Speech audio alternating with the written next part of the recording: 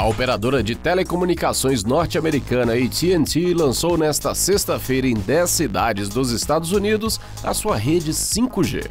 O suporte à nova rede exigirá que os clientes americanos possuam planos específicos da empresa.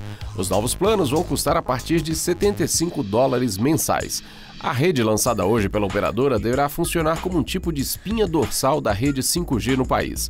Até o final de 2020, a empresa espera oferecer a nova rede em todos os estados americanos. No início deste mês, a operadora T-Mobile também ativou sua rede 5G nos Estados Unidos.